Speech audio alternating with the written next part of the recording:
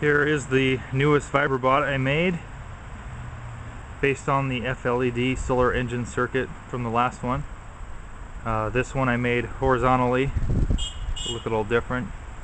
You can see the pager motor mounted in back there spinning. So I hold it up to the sun. This guy looks a little more bug-like. And as the cloud passes over the sun, let's see uh, what it does here. Whoops. It moves incredibly slow. Isn't that awesome? See that just for comparison with my other bot.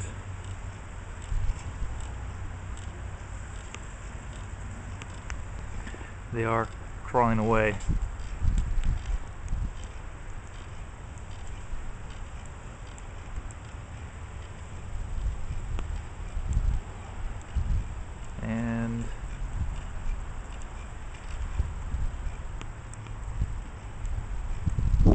Few more and I'll have a little fleet going and they'll all slightly vibrate together.